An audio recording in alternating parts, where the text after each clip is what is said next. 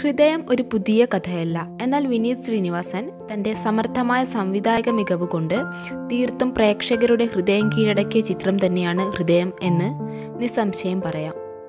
പ്രണവ് മോഹൻലാലിന്റെ അരുൺ നീലകണ്ഠൻ എന്ന കഥാപാത്രത്തിന്റെ ജീവിതത്തിലൂടെയാണ് ചിത്രം കടന്നു പോകുന്നത് ചെന്നൈയിലെ എഞ്ചിനീയറിംഗ് കോളേജിൽ എത്തപ്പെട്ട അരുൺ നേരിടുന്ന റാഗിംഗ് പ്രണയം breakup campus life friendship campus life കഴിഞ്ഞുള്ള ഒരു കോളേജ് സ്റ്റുഡന്റിൽ നിന്ന് വളർന്ന് കുറച്ചുകൂടി മെച്യൂർഡ് ആയിട്ടുള്ള കരിയർ ബിൽഡ് ടൈം ഇവയൊക്കെയാണ് വളരെ മനോഹരമായി ഹൃദയത്തിൽ ചിത്രീകരിച്ചിരിക്കുന്നത്.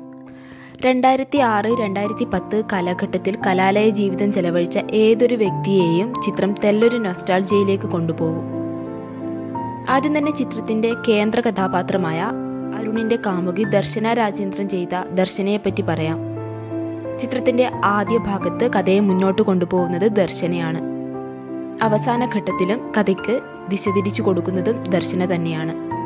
ശക്തമായ കഥാപാത്രം സ്വന്തം ശബ്ദത്തിൽ തന്നെ ദർശന ചെയ്തു എന്നതും അഭിനന്ദനാർഹം. വേണ്ടത്ര അഭിനയ മികവ് ഇല്ലാത്ത മറ്റേതെങ്കിലും നായികയാണ് ദർശന എന്ന കഥാപാത്രത്തെ ചെയ്തിരുന്നതെങ്കിൽ സിനിമയുടെ താളം തന്നെ നഷ്ടപ്പെട്ടു പോയേനെ. നിത്യയായി വന്ന കല്യാണി പ്രിയദർശനം തന്റെ റോൾ നന്നായി തന്നെ കൈകാര്യം ചെയ്തു. പ്രണവിന്റെ അഭിനയ കഴിവിന് അനുയോജ്യമായ ഒരു കഥാപാത്രം തന്നെയാണ് അരുൺ. കഥയിലെ അരുണിന്റെ സൃഷ്ടി പ്രണവിനെ തന്നെ മനസ്സിൽ കണ്ടുകൊണ്ട് ചെയ്തത് കൊണ്ടാണോ എന്നറിയില്ല. പ്രണവ് തന്നെയാണ് അരുൺ എന്ന് സിനിമ കണ്ടു കഴിയുമ്പോൾ പ്രേക്ഷകന് തോന്നിയേക്കാം. വിനീത് ശ്രീനിവാസന്റെ കരിയറിലെ ഒരു മാസ്റ്റർ പീസ് തന്നെയാണ് ഹൃദയം. അതുപോലെ തന്നെ പ്രണവിനും. വളരെ സോഫ്റ്റ് ക്യാരക്ടറായ അരുൺ പിന്നീട് കുറച്ച് റഫ് ആവുന്നു. ആ ക്യാരക്ടർ ട്രാൻസ്ഫോർമേഷനൊക്കെ അരുൺ വളരെ ഭംഗിയായി തന്നെ ചെയ്തു. അരുണിന്റെ അച്ഛനായി അഭിനയിച്ചത് വിജയരാഘവനാണ്. അച്ഛനും മകനും തമ്മിലുള്ള ചില വൈകാരിക നിമിഷങ്ങളുണ്ട്. അവിടെ പ്രണവും വിജയരാഘവനും ജീവിച്ച് കാണിക്കുക തന്നെ ചെയ്തു. ഇതിലെ ഓരോ സപ്പോർട്ടിംഗ് ആക്ടേഴ്സിന്റെയും പ്രകടനം അത്യുഗ്രൻ തന്നെയാണ്.